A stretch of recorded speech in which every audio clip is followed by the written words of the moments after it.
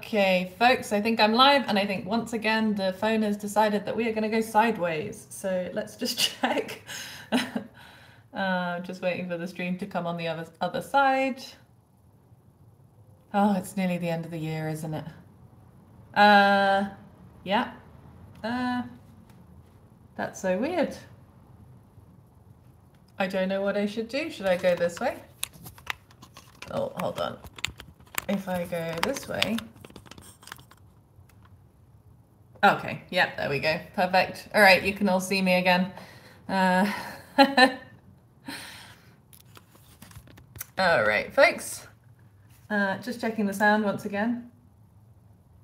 Yeah, good. All right, let's get rid of these so that I don't have to uh, be looking at those. So I can see everybody. Uh, welcome to the last live of the year. Um, so if you haven't seen me before, if this is your first time joining one of the streams, then my name is Dr. Clara Nellist, and I am a particle physicist working on the ATLAS experiment at CERN, and I am based at the University of Amsterdam and with Nikhef here in the Netherlands. Um, so that's where I am right now. I'm going to tilt this down a little bit so you can all see me better.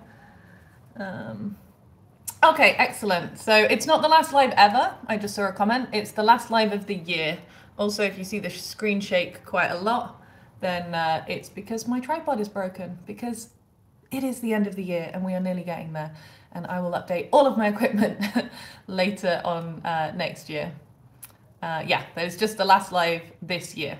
So uh, I see some concern in the chat. There will be definitely more lives next year. Um, so I also see some familiar faces or some, some familiar names in the chat. So hi, thanks so much for joining. Uh, and also thanks so much to Bob from Fundamentally Explained, who is once again very kindly uh, moderating the chat. Um, so I really appreciate it because that gives me a bit more of a chance to chat with you and not have to be reading through all of the um, comments all the time. Even though I do try and read all of the comments, I go back and read the chat later um, to see what you have all been saying. But it's nice that we can sort of keep the ball rolling and don't have me staring at the screen the whole time. So as I said, this is the last live of this year of 2023. Um, we'll be doing more next year. So uh, I wanted to kind of also talk about some of the highlights of the year. I wanted to know what your highlights uh, science-wise, maybe highlights personally too, feel free to put those in. But really we're talking about science here. Um, what have you thought was the best result this year, the best um, news that you heard in the scientific realm uh, that you want to share with everyone. So drop those down in the comments. I'd love to see what your thoughts are. Um, also, because it helps the stream go out to as many people as possible, if you can give it a thumbs up. Uh, if you want to chat in the stream, then you should uh, click that subscribe button. That just keeps the uh, chat nice and friendly. Uh, make sure that we've all being very nice to each other in the chat. Uh, so that's set up for that. So I'm looking forward to hearing what your thoughts are um, about the best and most exciting science news of the year. For me personally, I've got three highlights. And all of these will be coming out in long form videos. I have just had no time this year um, to edit my long form. I focus on short form content a lot of the time and on lives, but my long form content will be edited uh, further. But my favorite news of the year, um, we had the launch of the Euclid Space Telescope. So that was very exciting um, because this space telescope is already sending back beautiful photographs of space. Um, but its main job is going to be surveying the sky and helping us to better understand the distribution of dark matter in our universe and also the evolution of um, the effect of dark energy on our universe and how the expansion, the accelerated expansion of the universe has been taking place. So I think that's a really exciting telescope. I'm so excited to see more um, from that and see what results it sends back to us because it's going to tell us a lot more about the history of how our universe has evolved and the structure of it. Um, we also had, this is a personal favorite of mine um, because I was partly involved uh, or was involved in the review process, um, but in the ATLAS experiment, we uh, announced the uh, entanglement of top quarks. So entanglement is a, is a quantum property and it has never been observed in high energy environments like the LHC before. So this is the first time that entanglement has been observed with top quarks and it was super exciting and it really opens up the LHC to be like a, a quantum environment, even further quantum quantum environment that we can study this process in. So that's very exciting as well. And also Really interesting news this year. We had um, the antimatter measurement from Alpha G. So we learned that it's quite probable. So the first findings of this experiment is that antimatter falls down. So it's attracted to normal matter in the way that um, normal matter is attracted to itself. So the effect of gravity is very similar. There needs to be even further studies uh, and more data collected, but it's a really interesting first result to understand antimatter better.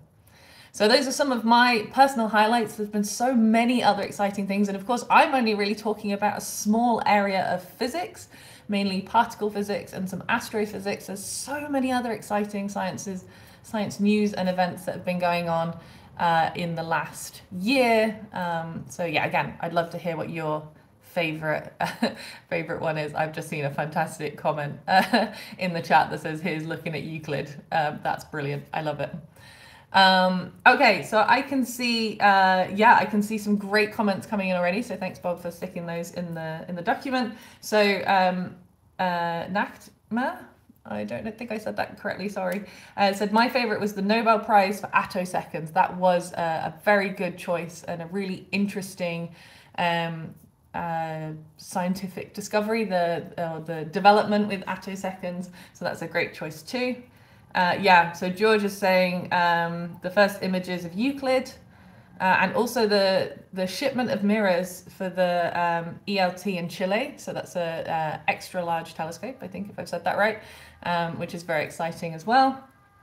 Um, so Andrew says the new theory claims to unite Einstein's gravity with quantum mechanics was a cool read from the University College London. So I must admit that I need to read more about that. I, I saw the news, but I want to delve deeper into it because it sounds very exciting. Um, so, and I, have colleagues that work at that university, and they said, "Oh, now I know what was going on on all those blackboards." Um, so that was quite funny when I heard that. Um, And this one I hadn't actually heard of the next comment, so I don't even know if I can pronounce half these words. Sorry, Bob. Ronald says, Uracil in the carbonaceous asteroid Ryugu. I must have missed this one entirely. I've got some homework to do. Um, so uh, Tipcentric says, my personal favorite moments from the year were the two Starship launches. Yeah, that was super exciting. And it's really great to see these reusable rockets. Um, being even more successful and, and much larger rockets too. So that's very exciting to see. Um, ah, great. Bob's put a, link in the chat to that one I couldn't even pronounce. Um, so thanks so much.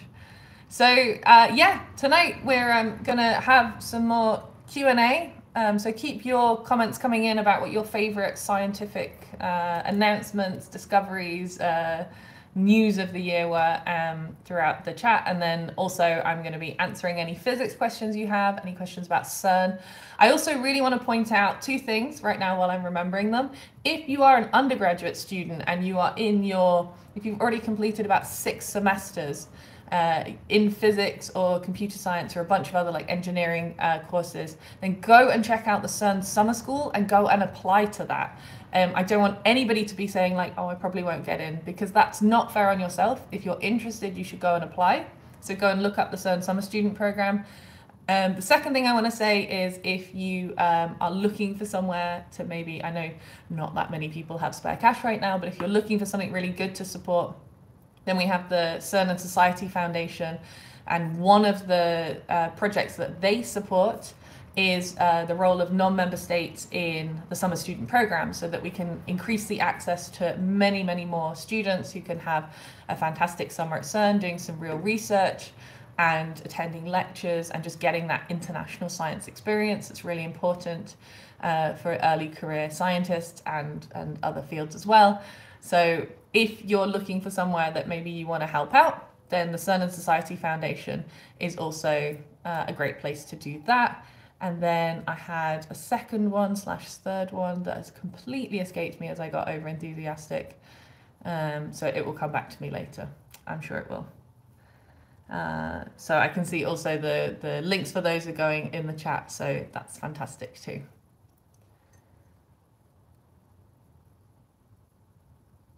So there's a really complicated question in the chat. Um, how do you measure the spin of the particles and are they entangled when you apply the Bell's theorem. So the way that we measure the spin of particles uh, in top physics is we, we look at the products that the, the top quark changes into, and we, we look at how they're distributed within the ATLAS experiment. So to take a step back, um, we have protons in the Large Hadron Collider, accelerate them to very high energies. We collide them in the center of the ATLAS detector, and we don't get to choose what happens in that collision. Um, so we're picking the particles, we're getting them to as high energy as possible. And specifically about using protons, protons have, um, they're not fundamental particles, they have other particles inside of them, like uh, quarks and gluons. And so different constituents, different parts of the top of the proton will collide each time, and we don't get to choose that, but we're doing it billions and trillions of times uh, in our studies, and then all of these different processes happen. So then we're in this kind of study, we're isolating for events where we have top quarks. Um, so we have various selections that means that we can isolate that data, and then to do the measurement of the spin of the particles, or even with this entanglement, we're looking at the, the way that these decay products um, come from that collision. Uh, and there's a really great article that uh, either me or Bob will stick in the chat, um, which is what we call um, a briefing from the Atlas experiment. So these are descriptions that we've written about um, analyses that are more accessible. They're for non-scientists as well as scientists to read. And this gives a really great description of how the entanglement uh, measurement works. So I will also dig that out uh, in a moment. And I'm going to tilt this down a little bit further get to see a little bit of my desk. I'm still learning how to get this uh, live stream to go sideways. Or maybe it doesn't want to be sideways anymore. It used to go sideways, but not anymore. Um, yeah, so thank you for that great question. I really recommend going to read the briefing. And also, actually, um, Symmetry magazine, fantastic magazine, uh, has online articles about particle physics. So if you want to read more about the different experiments. They do a lot of interviews with different scientists, and they just released an article about entanglement as well. So that'll help you uh, get a better idea about it. And then hopefully, I finally get to edit together that long form video uh, with some live, not live interviews, but with actual interviews with uh, some of the folks that did the day to day analysis. Um, because the way that Atlas works is that we are a collaboration of um, around 5,000 people uh, depending on how you count. And people are working on lots of different areas of the detector, um, like running the detector, so operations, collecting the data, processing the data, analyzing the data. And we have a process by which you can get qualified to sign all of the papers. And so everybody who's qualified signs every paper. But often for an analysis, there'll only be a, a handful of people doing the actual final steps. Um, but you have to remember that there were hundreds, if not thousands, of people that touched every part before that analysis and people doing lots of different parts of the, the work. So we, we have a, a step where you get qualified and then you get to be an author on the paper. But the reason I, yeah, so I, I have some interviews with some of the folks that did some of the final steps, but these analyses are huge team efforts. Um, okay. So uh, Andres is saying, I would like to participate in a summer school at CERN. What do you do at the summer school? So that's a really great question. At the CERN summer school, it's um, between about 9 to 12 weeks. Uh, some students stay longer and some uh, shorter.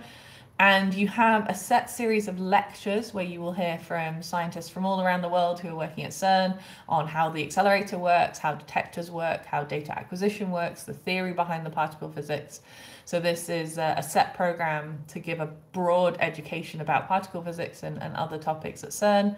And then the students will be embedded in a research group. They'll have a supervisor and they'll have a project to do throughout the summer and it's to really get some hands-on experience with research and and contributing to the work at CERN. And it's also supposed to be a really fun and um, just a big mix of people from all over the world. Uh, so an opportunity for early career scientists to really just dive into the the world of CERN and learn about how things work there and if that's something that they want to do further on in their careers. So yeah, and it's in the summer, it's in Geneva. You have Lake Geneva, which is a beautiful place to sit by in the summer, and the, the city is beautiful. Uh, it's very expensive though, which is why the summer student program is paid for. So the students get a stipend to um, pay for food and accommodation while they're at CERN to make sure that it's accessible to everybody, which I think is really important, and I really love that CERN does that. So you can apply, uh, if you search CERN Summer School applications, that will also come up. And then I think Bob had the link in the chat too, which I think is, uh, yeah, it's great if you if you go on there. It's really important because you need references. Uh, so those are a really important part of the application. So ask your references early. If I remember rightly, the deadline for the summer student program application is the end of January. But really, especially with the winter break, it's important to be asking for references as early as possible and also to help your references give you the best reference. So that's that's applicable to anything you want to apply for. Always ask your references early. I was rubbish at that. I was always the one asking last minute, uh, which is not a good thing to do. and you've got to be very nice to your referees because they take a lot of time uh, into writing those things about you. And yeah, good luck, and I really hope it works out. Yeah, and, and I see a comment in the chat about the CERN Society Foundation. It's also because um, a lot of the CERN studentship applications, the, the positions are funded by the member states that fund CERN. It's it's better if we can also offer as many places to non-member states as, as well. And so that's what the CERN and Society Foundation is trying to open up, is to give more opportunities to non-member state students. Uh, and I do want to say as well, I was never a summer student. I did not know that it was funded, so I didn't apply, which was very silly of me. But I also want to say that if you don't get in, please don't be disheartened because it's such a lottery as well. So sending off multiple applications if you're still eligible the next year, not multiple in one go, that'll get you disqualified. But I mean, like, if you can apply two years in a row if you're still eligible, brilliant. Um, and if it doesn't work out, do not be disheartened. There are other ways to work at CERN because that's what happened to me. I didn't even apply. And then I um, applied for a PhD program and got to work at CERN through my PhD program. So it's there, there are many other ways to get there as well. Okay. So uh, Danielle, Daniela says, what was your major? Um, so my major in um, at university was physics. I went to the University of Manchester and they did have a physics program where you could uh, you could specialize early on but i didn't want to do this because i loved uh, all topics and found it really difficult to choose which is also a story of my life. And i therefore went on what we called the more direct physics path. And then all of the options well we had optional courses in our timetable I could then pick from all the different ones. So I put some astrophysics in, I put some nuclear physics in, I put some particle physics in, theoretical physics, uh, some history of science, which was super interesting. I did a course on how um, science fiction evolves and uh, through humanity's fears. So the things that we're afraid afraid of and that we're thinking about feed into the science fiction that we write and that was really interesting. And also, yeah, history of science. So, so more about the um, the society of science, uh, which was super interesting. And and then also, I did some really heavy theoretical physics courses that I thought I couldn't be a couldn't graduate without. And uh, turns out it's not true. Just do whatever courses you want to do. Um, but I mean, if you love the theoretical ones, you should do those too. I just mean we don't have to do them because we think we should, if that makes sense. Mm. And I see Bob's written in the chat that he got rejected from the summer school uh, for his first year, but got in the second time he tried. So I think that's a really great example because uh, Bob is an excellent scientist and uh, he didn't get in the first time and did get in the second time. So do keep trying, even if it doesn't work out, uh, and don't take it to heart because it's such a lottery uh, to get in. Uh, ah, so this is a great question from, is it Matty? So it says, might be a silly question, no such thing. Uh, if the top quark is possible to be entangled, if it exists in a composite particle, what does it mean in regards to the other quarks? So this is a really great, great question because the top quark is not a composite particle. It doesn't form, like ev and every other quark buddies up um, with other quarks, either with the antimatter version of itself or or other versions of quarks. Um, and depending on how they buddy up, we give them different names. The top quark changes into bottom quarks too soon.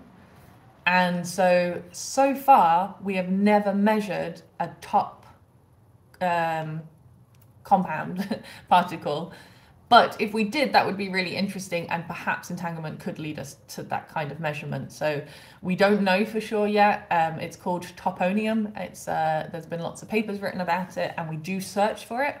But so far, we have never measured the top quark buddying up. So it's it's a really great question. It's an important part of top quark research, and so far, it's not been measured. Uh, yeah. Ah, and then uh, Andres uh, says, uh, I have to check that article. Can I get the spin on the top quark with the online data? So I so with the Atlas online data, some of it's been processed, but there is also raw data available. Um, I know, for example, CMS released um, just a batch of raw data, and so from that, you should be able to reconstruct and get the spin of the top quark. And there's a lot of papers online. They're not always I mean, they're written for other scientists, so they're written in a language that's designed for other particle physicists to read. But there's a lot of information online about exactly the cuts that were used on the different uh, properties to be able to get the set of data that then you can measure spin. So if that's something you're interested in doing and you want to recreate that, absolutely also write about it in your summer student application because that shows how enthusiastic you are about these kind of measurements. So um, I see that there are more people joining, so thanks so much. Nice to see you. And again, sorry, just to say, if you do give the stream a thumbs up, then it tells the powers that be that you're enjoying it, and then it gets shared out to more people, which is great. Um,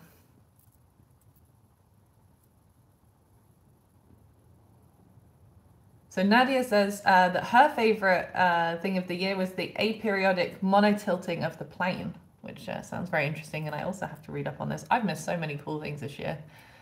Um, oh, and then uh, I, I already see this question in the chat.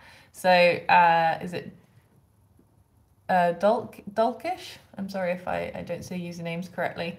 Um, so they say that they're going to apply for the CERN Solvay student camps. What do you think are the most important requirements to be selected? I think for that one, because this is a program designed for high school students, um, really just showing your enthusiasm and that you've been reading around or watching videos on the topic and showing that you're really keen to go to the program is the best thing that you can do for this. I don't actually know, I haven't looked into it whether there are references, but if there are references too, then again, give your referees a lot of time to prepare and um, you know, you can always let them know if there are things about your background, about your CV that you'd like including. They would choose whether or not to include it. You, you don't get to choose what they put in their letters, but you can always provide them more information or point them to things that they could include if they want to. And yeah, so giving your referees, if there are referees for that one, a lot of time to prepare also really helps with the application. Um, but I will say that I know that there's only a few places for that. And again, it's a huge lottery. So please don't be disheartened. But I absolutely encourage you to apply. I think it's fantastic. Always give yourself the chance. Um, it's statistics, right? There's a bunch of things you're interested in doing, and they all have this kind of like it's uncertain chance of whether or not you'll get in apply to all of them give yourself a chance and then you have much greater statistics on uh, on getting in Oh, sorry. I get it. Um, Nadia, the the aperiodic. Yes, I know what you're talking about now. The the um non yeah the tiling of the plane. Sorry, I'm for people watching now. You don't know why I'm mumbling because I'm reading the chat and I understand what Nadia's comment was. It took more than one tile to make tilings aperiodic. Yes, that was also really cool. It was um about how you get repetitions of tiles with certain numbers of shapes and they were able to do an, uh, a tile that didn't repeat with the same shape. But that was really cool. Uh, I understand now. Sorry. um, there's uh, I see a question that I get asked relatively often, so let's let's answer it here. Um, uh, Josias, I'm really sorry if I say names wrong. Uh, why do you have the god of destruction Shiva at CERN? So this is a statue that we have at CERN, which is the Shiva statue. It is the, the god of uh, creation and destruction, uh, or creation and annihilation. It's the um, the god is in the dance form, and it was a gift from the Indian government, and it re represents the cosmic dance of the universe. So it's one of many pieces of art we have around the CERN site. It's a, it was a gift, as I say, uh, from India and it represents the cosmic dance of the universe and the particles being created and destroyed in the collisions and how this is how the universe works so uh, in terms of this cosmic dance. So i think it's beautiful to have art around the site and i don't understand why everyone asks about one specific piece of artwork. Um, so yeah we, we do have it though. It's not not a secret. Uh, Oh, and then Matty says, when does the accelerator come back online from the winter break? So I don't think. I mean, it's the the calendar is usually pretty set. It's I'd have to look up the exact date. It's usually around Easter that we come back on, and when it comes back on, yeah, we'll be around March, and then there has to be a commissioning phase. We always have this every single time it's been off, to get things uh, in the accelerator going again, and then we'll start collecting data a number of weeks after the LHC is is started back up again. So it'll be sometime around Easter that it's on again. Uh, I can dig out the the timetable. Uh, until then, though, if you happen to be in Geneva, I think this was one of the other things I was going to say earlier. Yeah, so the Large Hadron Collider is off right now, and um, there are very few places, but there are some places to go underground. So if you happen to be in Geneva, First of all, we have an excellent new museum at CERN. It's at the entrance. It's so beautiful. We have four main exhibit rooms, and so you can learn about how the accelerators work, how the detectors work, about the quantum realm. Um, and then we also have one that's on uh, mostly about art. I was there once before it opened. I need to go and check it out now that it's open, but I've seen so many beautiful photos. Uh, it's free to go to, which is brilliant in Geneva. So you should definitely go and check out the museum. And then when you're there, the first thing you should do is go and talk to the visit service and say, please, can I go on a tour? Because you have to register them in person. You can't book them on an, online in advance. Uh, and that's to make sure that every single tour is full up because we've got so many people that want to go on tours. We don't want to offer them online and then have people not show up. So people come in person, they get booked on a tour, and then you get to go and see something cool at CERN. And some people during until we turn the Large Hadron Collider back on again, we'll get to go underground or to see one of the detectors. Um, but we also have, you can see the control rooms at CERN where you can learn about how the, the data operation, uh, how the data is collected in the operations. We have the antimatter factory, which is a pretty cool place to go and visit. So you can see where um, the antimatter is um, collected by a different type of accelerator or it's collected in it with a target and then held with a different kind of accelerator. And then some of the experiments that we have in the antimatter factory studying its effect or the, the effect of gravity on the antimatter and doing other measurements like um, spectroscopy is a super cool thing that they're doing right now. Um, because, for example, hydrogen, the spectroscopy, so the way that the um, the light interacts with with hydrogen is so well known and now we can create anti-hydrogen and hold it at CERN. And so they're looking to see how the spectros- spectroscopy of anti-hydrogen is working and comparing that to hydrogen because our goal is to try and see what differences there are between matter and antimatter apart from the electrical charge. So it's a really great um, study and you can go and see that at the antimatter factory. And we also have the synchrocyclotron, which was the very first accelerator built at CERN. Um, and when it went offline, they uh, put concrete around it for about 10 years because then it had to cool down uh, radioactively. And now it's super safe to go and visit. And uh, we have tours that go there. And so you can see the very first accelerator and watch a beautiful light show uh, about the history of CERN and how this accelerator was used for some of uh, the early measurements at CERN, which is really cool to go and see. So if you're in Geneva, uh, I know that's not applicable to everybody, but if you happen to be passing by, definitely go and check out CERN um, because you can go and go on a tour and see the site, and yeah, you can turn up and have a look. which is very cool. Uh, how? Oh, Samuel says, how kid friendly is the museum? I'm thinking of going with my toddler. Great question. Uh, I there's not a whole lot for toddlers to do, but I'm pretty sure they can just walk around with you. Um, so, and it, it looks very shiny, and there's a couple of games that can be played. So, I think it should be fine, but I would double check on the website before you turn up. Uh, is the best thing to do. Or drop that in a comment in the video, and then I will go and uh, check and ask the visit service directly, and I can uh, come back and let you know properly because uh, I, I don't want you to turn up and be like Clarissa, I could come in. um, but also, I really, really want you to go visit because I think you'll have a great time. Uh, so yeah, the visits is uh, Bob's put that in the chat, so you can go and have a look on the website as well. Um, okay, let's go back to some questions. Uh, so Rianne is saying, I'm an enthusiastic senior volunteering with CERN through Zooniverse. I'm interested in learning more through online course. Do you have any recommendations? That's a really great question. Um, in terms of online courses, I mean, I'm to be making some more videos, longer ones, but I've been saying that and trying to find the time, so I don't want to overpromise again.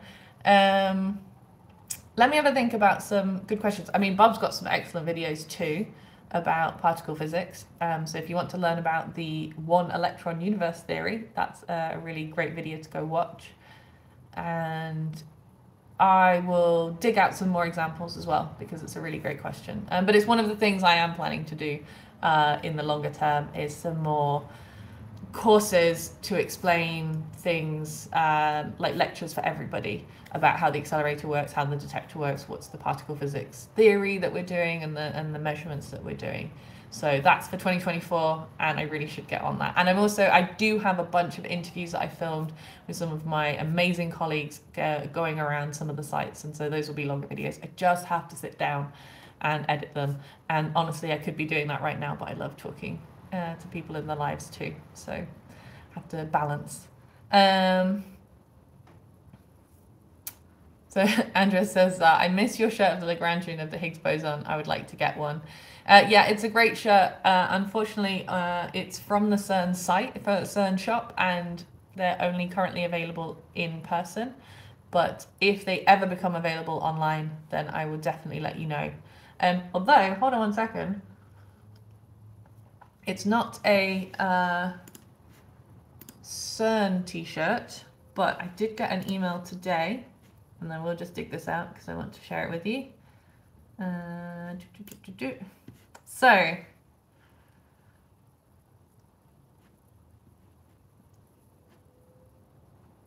if, sorry, I'm reading this and having to get the, where do I find the link? There we go. All right. So I put this in the chat so we can share it. Sorry, to find out where to put it. I'll be back with you in one second, I promise. Um, where did the link go? Got too many websites open. Sorry. We'll click the link again and find it. That's the best way. There we go.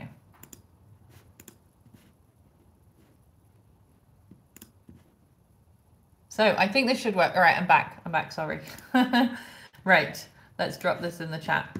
So if you want space stuff, it's right at the bottom of the, the doc um, Bob, or I can drop it in. Uh, I can do it myself. Haha. I don't know if people can see this. Let's. Uh, okay, I don't want to break things. Sorry, I'm getting over enthusiastic about everything. So, ESA sent me a link today because they do have an online shop, and they sent me a code that if you use it, you get um, a discount. I don't know how much the discount is. That's great. I should check that out properly. Um, but there is a discount. So if you want to buy anything from the ESA shop, then you can put the uh, code at the bottom. I don't get anything for this. This is not to benefit me. This is just to benefit you. Um, so ESA knew that there were people who were watching these videos who love space uh, and wanted to give you a Christmas discount. So if you put that in uh, in the website, you will get a discount, I will read the email properly uh, later and uh, let you know uh, for sure what that is. But again, it is just for you. I don't get anything from this except for the fact that I love space stuff. I think ESA is amazing. Um, that's the European Space Agency. So if you want any of their cool t-shirts and mugs and jackets and stuff, then you can go and put that in the website. So, and then if somebody does buy, you don't have to do it right now. Maybe you can tell me how much the the code is and I'll, I'll go and check it properly myself later. Okay, let's do some more uh, questions. Uh, so Chris says, and I'm, I'm just trying to make sure I understand this properly, antimatter and matter suppress each other, so annihilate, but radiation energy is, is liberate. How is the energy balance with Einstein's law? So if, if I understand the question properly, which I may have misunderstood, um, energy cannot be created or destroyed. It is. Oh, perfect. Oh, what's that? I've been so busy. Okay. For some reason, my TV wanted to turn on. Okay, let's turn that off. So, um, yes, energy cannot be created or destroyed. It can only change into one form or another. So when matter and antimatter annihilate, there's no sort of violation of, of energy laws. It's just that the the energy and the, the mass from those particles are changing into a different form. So everything is is working out fine. Um, I see that Adam says, I got a NASA hoodie, but honestly, oh, okay. He didn't think it was the greatest quality. Um, yeah, the ESA quality, the ESA merchandise is really high quality. I can tell you that. So um, I just got a new jacket today, it, which is like a yeah a jacket, and it's super soft, and I really love it. Um, so I can really recommend that the quality of the ESA stuff is is really high. And again, the the discount code is just for you. Um, I mean, I'm going to tell more people, but what I mean is you're the ones that benefit. Yeah, uh, Zombie Kai says ghost particles messing with the remote. Yeah, I thought it might have been like a voice activated thing, but my TV doesn't have that, so I don't quite know why it turned on. Um, okay, let's do more questions. I'm clearly very enthusiastic this evening. Um, it's been a very long week and it's nearly nearly Christmas. Oh, and they do they do do nice mugs. I'm actually drinking out of an ESA mug right now. Um, oh, so Andres is asking again about the, which is great, I love it, um, about the data. Is it difficult to find codes on Python or C++ to get the spin of the top quark or are they online? So you, some of the Atlas Open data comes with packages where it has some Jupyter notebooks with some, some code in there that helps you talk you through the different analyses. I don't think we have anything on spin.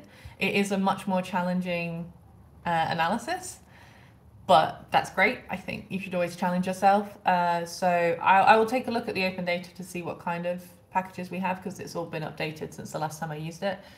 But I would recommend to start downloading some of those Jupyter notebooks, going through those and working with the code and understanding how it works, and then moving on to the spin uh, once you understand some of the different selections.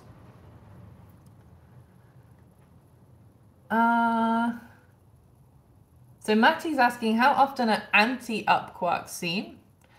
Uh, and if seen, how are they produced? Are they possible to entangle? So the thing with anti-up is it's really difficult for us to know whether it's anti-up or up or down or anti-down. These really lighter quarks, um, they just show up as jets in our detector. They just show up as a spray of particles. And sometimes we can kind of sometimes we could possibly infer. I don't I don't think it's really possible at all actually. Um, so I don't know exactly how often they show up and they show up as jets. So trying to learn trying to measure entanglement with an up or an anti-up quark would be incredibly difficult.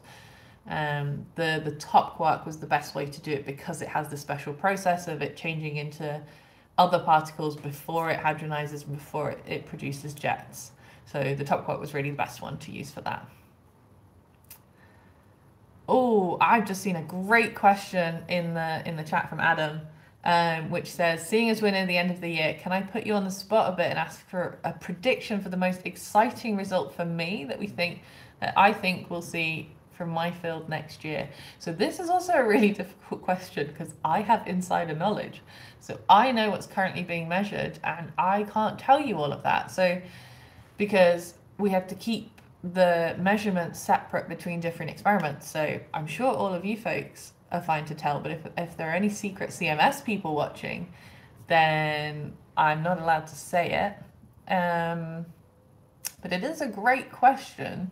So let me explain a little bit because I always say that everything at CERN is open and that is absolutely true. You can come and visit, you can go around the site, you can talk to anybody about the stuff we're doing. Scientists are very enthusiastic to talk about their research. The only thing we can't talk about is the thing we're measuring right now or sometimes we can talk that we're measuring it, but we can't really talk about how far along it is and what are the specifics of the analysis because we often keep, for example, Atlas and CMS analyses separate in order to preserve um, the integrity of the measurement and keep the biases uh, separate, for example. So you don't want to tell a different team that you're measuring something in a certain way and that you've discovered something before you've actually finalized the analysis because then they may think oh we should see it too and that might influence their um, selection. So it's, it's about preserving um, the analysis. What can i say that's coming out?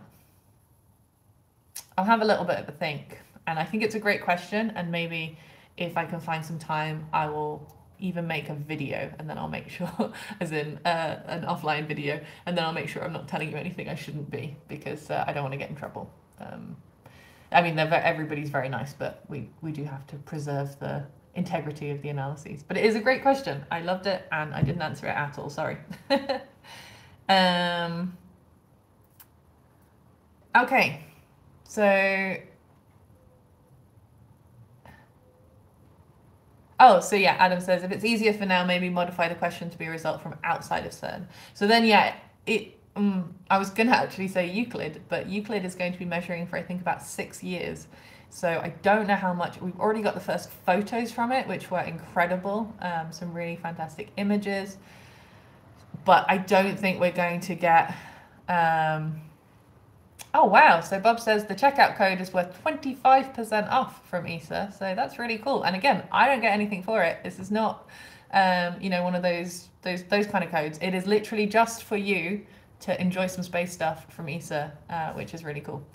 Um, yeah, so Euclid is going to be really exciting when all of the data is starting to be analyzed because it really has to do a survey of the whole or as much of the sky as possible. Uh, I'm sure there's going to be some fantastic JWST images coming out and studies. Um, good question. I think, I mean, that that's the one I'm looking forward to most. And then I'm sure we'll get some surprises too.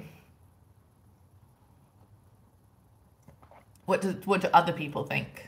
What other rumors have people heard of exciting results? Maybe we've got some scientists in the chat that can share some secrets from their fields. Um, that would be cool too.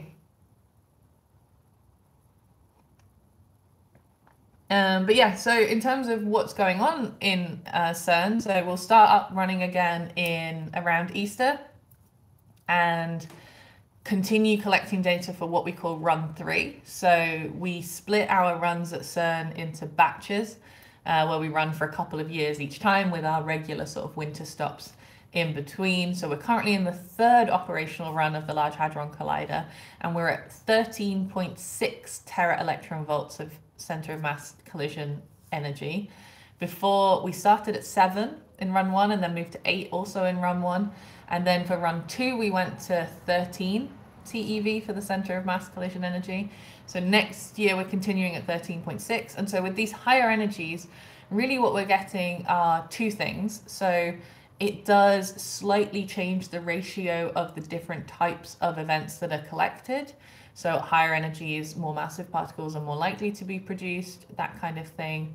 Um, which allows us to do, for example, if we're doing mass measurements, if we're measuring the mass of certain elementary particles, then we can compare what we get at different center of mass collisions because we can predict what we should be getting, sort of the rates of, uh, well, that's for the cross section. So we can measure the, the mass at different energies. We can measure the likelihood of seeing these processes at different energies. And that's a really important test of the standard model. Um, because again, going even further back, the two main things we're trying to do at CERN is precision measurements of the particles that we already know about.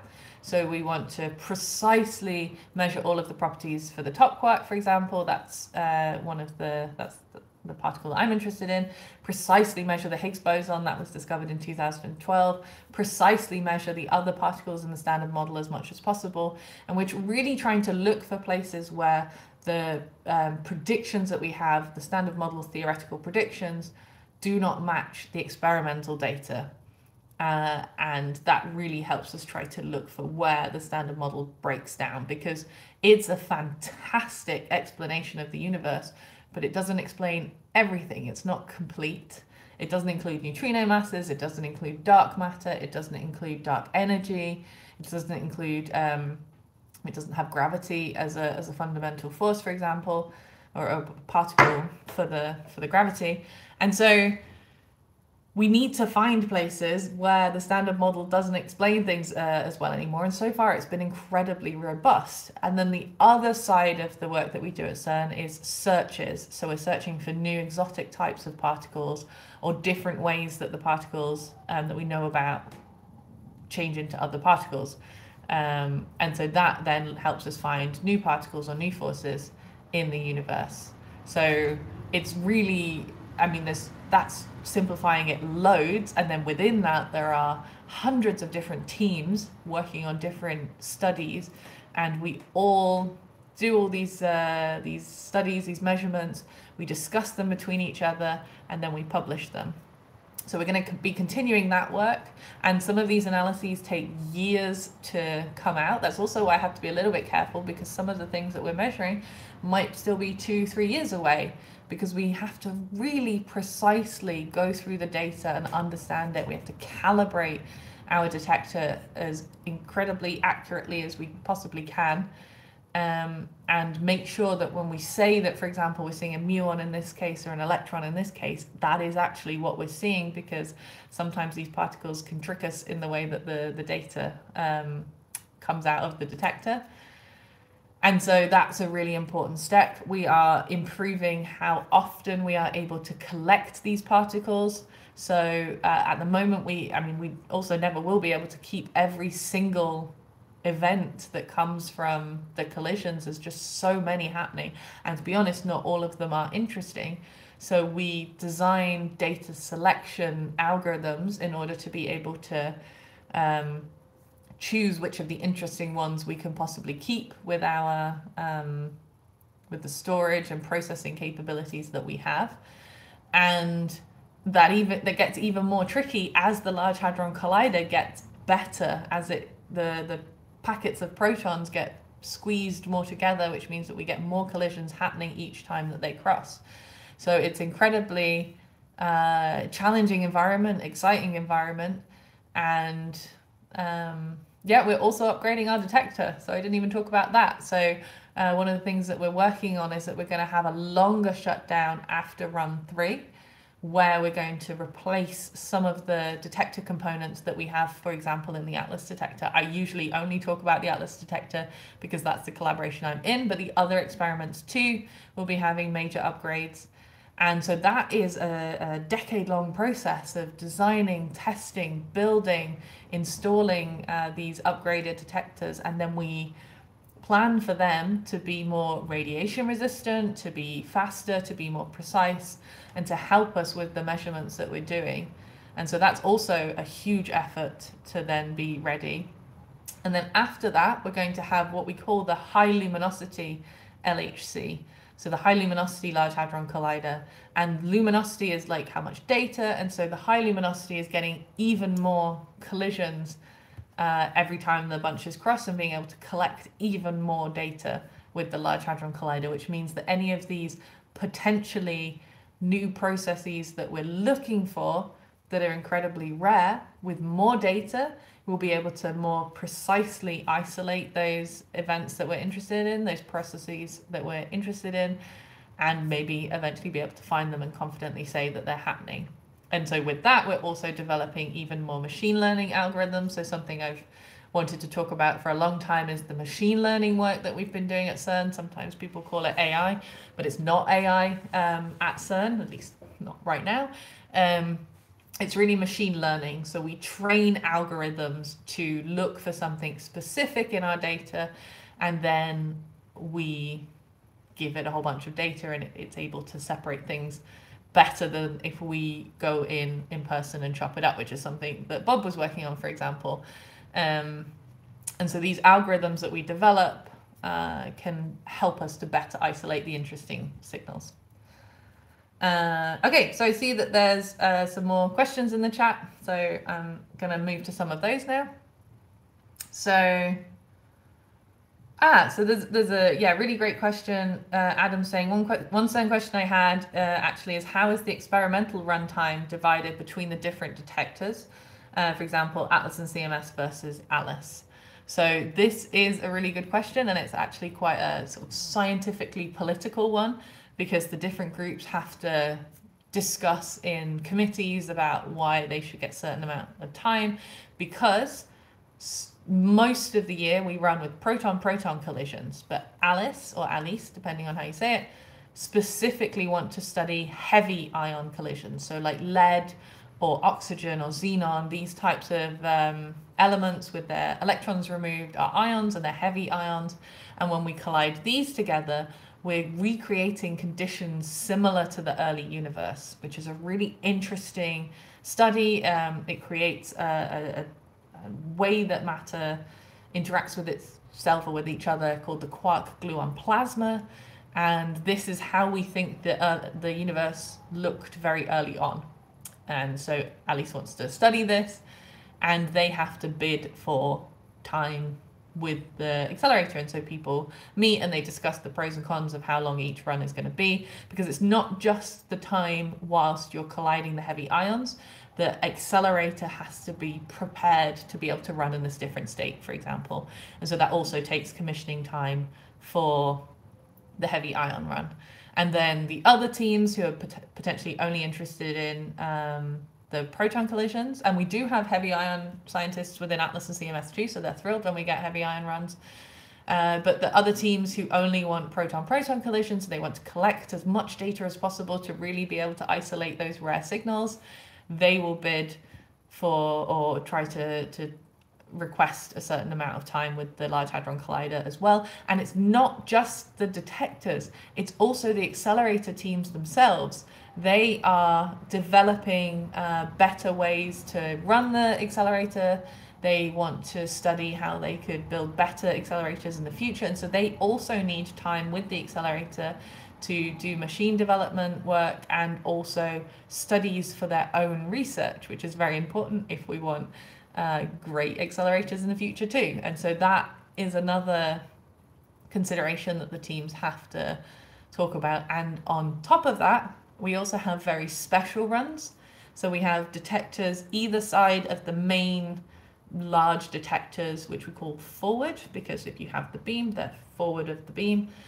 Either side, they're forward either side, if we don't have backwards. Um, they're forward detectors and they uh, study, for example, events where perhaps protons come by and they don't actually collide head on, but perhaps they exchange a particle. And then because the protons have slightly less energy, then they would get bent differently in the accelerator and they get measured by those forward detectors. Uh, and we also have uh, detectors further down the beam pipe that are looking for exotic types of particles. So uh, different types of neutrinos or dark matter particles further on down the accelerator as well. So for the forward detector runs, they would like special conditions where the beam is operated in a different way. And also, for example, if we want to study precision W mass measurements, which you may have heard um, relatively recently about the result from CDF, which was an experiment on the Tevatron at Fermilab. They measured the W mass to be ever so slightly different to what the sort of world average that other detectors measure. And uh, if that's true, that's really exciting, but we have to confirm it. And so to really precisely be able to ma- measure the W mass, you want a very clean environment, which protons are not clean because they got stuff inside of them and then they spray particles everywhere. And so sometimes we do a run where instead of having uh, 60 collisions happening every time the protons cross, we have one, or we try to get on average one, which is then very low statistics, but very clean data and much more precise when you rather than having 60 events with 60 sprays of stuff coming off everywhere and you have to measure it in your detector and you have to reconstruct it and work out what came where and there's always some uncertainties you just if you have one collision even though it's still proton proton it's got fewer stuff coming out of it which you can then say okay it just came from that one collision much cleaner, much more precise W mass measurement.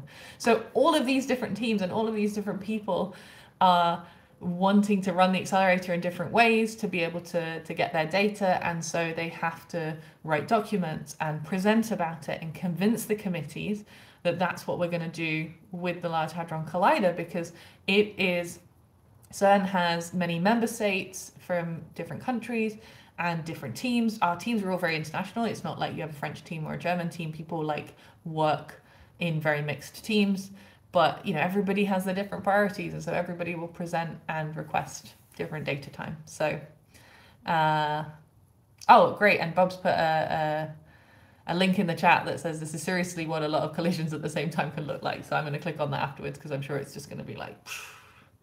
Uh, so it kind of looks like a firework. So uh, yeah, thanks for the great question. I really uh, there was loads to talk about there. Um, so Karen has asked, does CERN work on the measurement problem? And I, I don't know if I'm I don't know if it's just because I'm late, but I don't I don't understand the question. Um, sorry. Uh, George asks, what is the heaviest ion used in ALICE? And I am gonna guess lead. I think but I might be wrong. So if I am wrong, feel free to correct me in the chat because uh, I, I think, I don't know what the mass of xenon is. Uh, this is what scientists do. We look stuff up. Uh, yeah, no, I'm pretty sure lead is the heaviest one. Yeah. Uh, but feel free if I am actually still wrong to tell me I'm wrong. Um, Okay, so also Matty said, do you have any favorite sci-fi movies or series from 2023? Any 2024 upcoming that look exciting? Uh, I have no idea what's coming up in 2024. I tell you who does know. Um, pop culture scientist, who is also on YouTube. She was on the live that I had last time. Uh, is the best person to ask about what's coming up in sci-fi. So she really uh, stays on top of all of this and does an excellent podcast and makes lots of videos about sci-fi in science. So I definitely recommend going checking out her channel. And if you didn't watch the previous live, please feel free to go and watch that because we had an excellent chat about sci-fi um, in the last stream. I really enjoyed it, uh, and it went on for two hours. Sorry, so please go watch it. Uh, but it was a really fun chat and maybe if I have some time, I might edit it down. But uh, again, that requires that requires some time. And I do plan to take a proper holiday over Christmas. So I'm I love talking about particle physics and I really enjoy my job, but I also need some downtime. So there's going to be slightly less content over the winter break uh, after Christmas, and then I'll come back again uh, late mid no late early January. Is that a thing? Like about a week after New Year. Um, so yeah, I see Bob's putting the the links in the chat. Thanks again. Uh, oh, okay, but my favorite sci-fi was also the question. Favorite sci-fi movies. Um, oh, I watched. Is it called? Hold on. It's not really a sci-fi movie. Uh, but it kind of is. I watched Palm Springs movie which had a surprising sci-fi twist in it, which I thought was brilliant um, at the end. So it, it gets a bit a bit quantumy at the end, if I can say that without spoiling it. But it's a really fun movie. Um, I've wanted to watch it for a while and uh, finally got around to it recently. And I, I love time travel loop movies. The the yeah, just the concept of them. They're they're fun. So that was a really fun, slightly sci-fi movie. Um, there's a whole bunch I still need to catch up on. I think a lot of this winter I'm going to be catching up on. I need to catch up on The Expanse. I'm so far behind on that because I can't even remember which platform it's streaming on, but I lost access to that platform early on, did not manage to keep up with it, and then I now think I can watch it again. So probably going to be binge watching that because uh, people say that it's fantastic. If you want to tell me what your favorite sci-fi movie and uh, TV show recommendations are, I would love to hear them. Um, please feel free to put those down in the chat or in the comments afterwards, and uh, then I'll have lots to, to watch. Also, actually, I'm going to take this opportunity. I wanted to get some sci-fi books for Christmas. What sci-fi books do you recommend? Uh, because I said I want to switch off and I was going to not do any work, but sci-fi is not work, it's fun. Um, so if you have any recommendations for sci-fi books that aren't like this big because it's only two weeks for Christmas, then please do also let me know what I should be reading because I want to go and have some sun, some fun sci-fi uh, break. Um, Okay. I think those that's most of the questions I can see. Oh, Arrival. Yeah. Uh, JR's uh, JR's Journeys says Arrival with Amy Adams. That is a great one, and I actually need to rewatch it because uh, the the I again I don't want to spoil it in case anyone hasn't seen it. But you should definitely go watch it. The way that it, the movie is threaded, I think, is the best best way to say it. Is fantastic. It's it's a really great movie. Um, yeah, trying to think what my other other recommendations would be. Again, I I need to catch up, so please let me know your recommendations. Um, and I will go and do my homework. And also, I'm sure I can ask Abby for her recommendations as well. Okay. Um, what was the newer Alien movie with Gillian Anderson? Did I miss one? Uh, Tipcentric says there's a really old sci-fi book that may be hard to get, but it's totally worth it. It's called This Perfect Day by Ira Levin. Ah, I should definitely. Okay, I'm adding that one to the list. That sounds like a good recommendation. Oh, and A Long Way to a Small Angry Planet by uh, Becky Chambers uh, is is inc- incredible, and I need to read the sequel. So I read the first one, and yeah, great recommendation. I should, should catch up on that. Um, Eric is saying, can you talk about M theory and what is being done at CERN about it? Um, so honestly, I'm not not quite sure um, because that's more for the the theoretical scientists. In terms of experimental studies on it, uh, there's not really that much we can measure with it. Uh, let me see if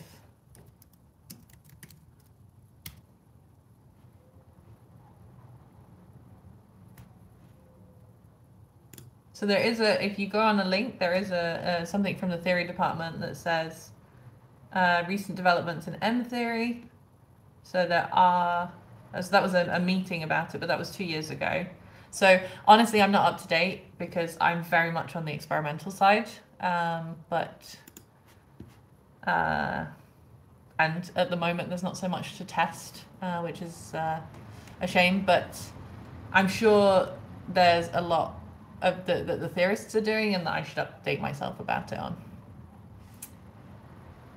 Uh, so Ravdos says uh, Tenet is a great film that most overlooked, and I haven't heard of it. And also uh, El El uh, Abassi is saying Monarch, so I need to go and uh, look those out. So yeah, there's already some great recommendations and some also great reminders of things that I told myself I was gonna watch or read and uh, should go and do those. Uh, Tenet is awesome, so there's another recommendation for it there from uh, Tipcentric. Okay, so I would love to stay and talk to you all about sci-fi, um, but I should probably head off for the evening. So I want to say thank you so much for joining. Thanks so much for all of the support this year and for joining the lives, asking questions, and all of your enthusiasm uh, for the, the work that we're doing at CERN and the research. and I will definitely be back. Don't worry, this isn't the last one ever. I will be back uh, next year with even more lives and more long form video and more short form content. So there'll be a lot more happening. I've got, so as I said, I've already got some uh, long form videos uh, filmed that I just have to put together. So with a bit more quiet time, I'll be able to get those done. And I already have one potential. I'm not going to spoil what it is. I just want to be one of those. I, yeah, I might be getting to go somewhere cool in the UK um, to make a video and show you somewhere that does some really great particle physics research in the UK. So stay tuned for all of those. Uh, I'm really excited to uh, share more with you next year, and I hope that everybody has a great northern hemisphere winter break. Uh, and uh, happy holidays if you celebrate any of them. And yeah, have a great rest, spend time with loved ones, and see you again uh, in the new year. So thank you so much, and uh, take care.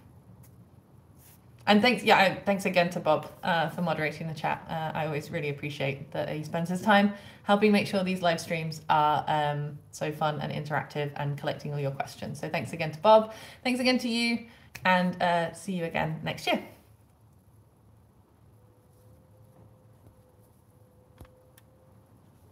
And I can't find the button. I think it was this.